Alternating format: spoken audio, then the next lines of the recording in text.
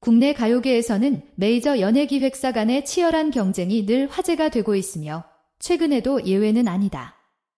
이번 가장 주목할 만한 사건은 손태진의 미국 진출이다. JYP 엔터테인먼트와 YG 엔터테인먼트 모두 그와 협력하고 싶어진다. 이번 공연은 손흥민의 재능을 부각시킬 뿐만 아니라 국제 무대에서 그의 성장을 보여주는 신호이기도 하다. 신의 아티스트 손태진이 미국 콘서트에 참석해 관객과 전문가들에게 깊은 인상을 남겼다. 그는 무대 위에서 최고의 가창력과 카리스마를 뽐내며 JYP 엔터테인먼트 대표 박진영의 눈길을 끌었다.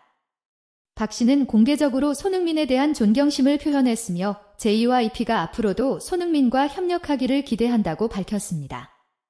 이에 대해 YG 엔터테인먼트는 가만히 있지 않았다. 손태진을 YG가 늘 추구하는 예술적 이미지의 일부로 꼽아 영입에 큰 관심을 보여왔다. YG 양현석 대표는 손흥민이 회사의 예술적 길을 더욱 발전시키는 데 도움이 될 수 있다며 손흥민을 자신의 팀에 데려오는 것이 중요하다고 강조했다. 손태진의 콘서트는 단순한 음악 행사가 아닌 국제 무대에서 자신의 입지를 확고히 하는 기회이기도 하다. 그는 깊은 발라드부터 신나는 노래까지 다양한 장르의 노래를 연주했는데 모든 것이 훌륭하게 연주되었습니다. 현지 관객들의 반응은 매우 긍정적이었으며 많은 사람들이 그의 재능과 전문성에 감탄을 표시했습니다.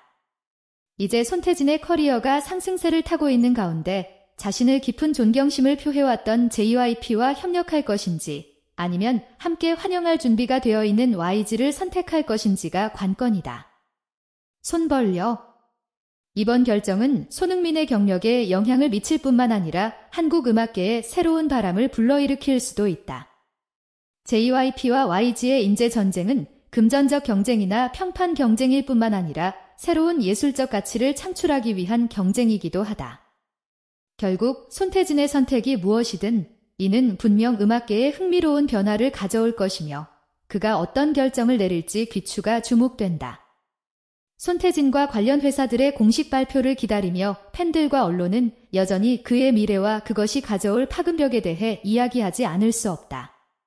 최종 결정이 무엇이든 한 가지는 확실합니다. 손태진은 오늘날 한국 음악 산업에서 가장 뛰어난 이름 중 하나였으며 지금도 그렇습니다. 글 끝까지 팔로우해 주셔서 감사합니다. 항상 건강하시고 행복하세요. 손태진과 한국 연예계의 최신 소식을 팔로우하는 것도 잊지 마세요.